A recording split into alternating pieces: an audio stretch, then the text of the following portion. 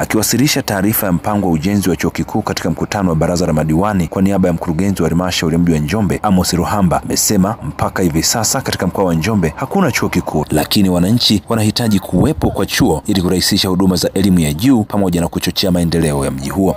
Tunaona chuo hiki kitakapokuwepo katika mkoa wetu wa Njombe, katika halmashauri ya mji wa Njombe, itachochea kuongeza huduma za kielimu, lakini pia kwa kuongezeka kwa watu, kwa maana chuo kitakuwa na wanafunzi wa taaluma mbalimbali, itasaidia kuongeza ukuaji wa mji wetu kiuchumi na kijamii, na hivyo kuongeza mzunguko wa kiuchumi na hata kuongeza pato la taifa kwa ujumla wake.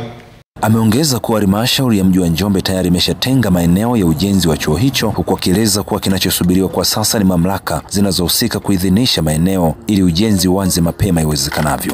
Lakini maeneo ya kujenga tunayo kama halmashauri ya mji wa Njombe, maeneo yapo ya kutosha.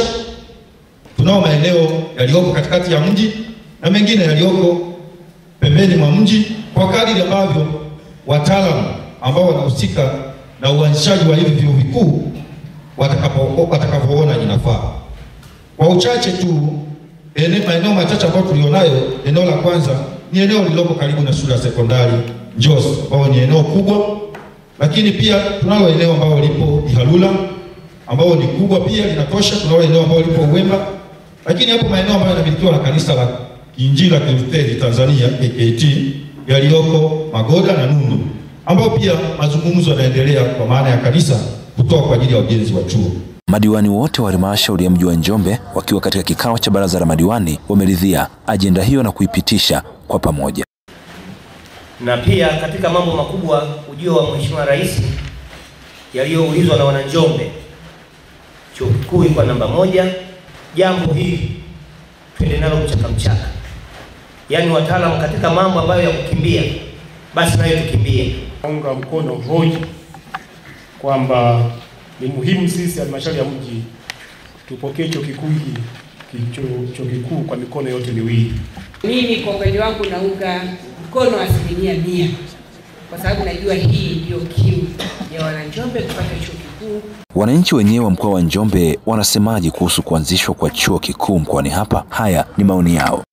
Mpango wa kuwa na chuo kikuu Njombe ni mpango kwa mwafaka kabisa na ni wakati sahihi. Kwa sababu gani?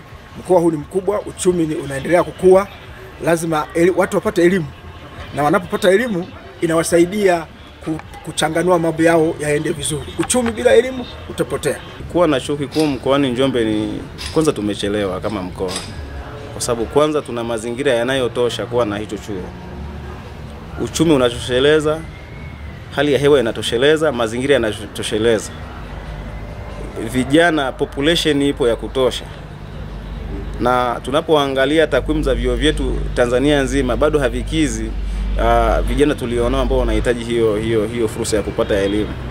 Kama tungekuwa tuna vyuo vya kutosha, hasa vyuo vya juu, maana yake ni kwamba tungekuwa tuna uchumi wetu ungeongezeka mara mbili zaidi bidhaa nyingi zingekuwa zinachukuliwa, bidhaa nyingi zingekuwa zinanunuliwa. Uwepo wa chuo kikuu mkoani hapa unatajwa kwa utasisimua zaidi uchumi wa mkoa wa Njombe na kutengeneza fursa mbalimbali kwa wakazi wa mkoa huu. Kutoka Njombe, mimi ni Ibrahim Godfrey Mlele.